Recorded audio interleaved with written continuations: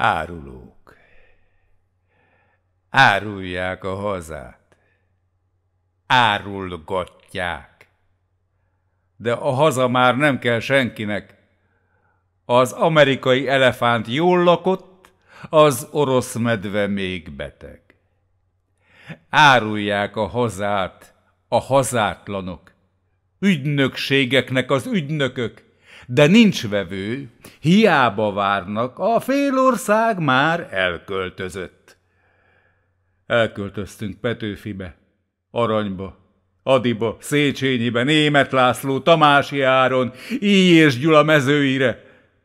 Nekünk, kupecek, ne tanítsanak se közgazdaságtant, se etikát. Bocsássa meg nekik a Krisztus, testét, hogy magyar igékkel verik át.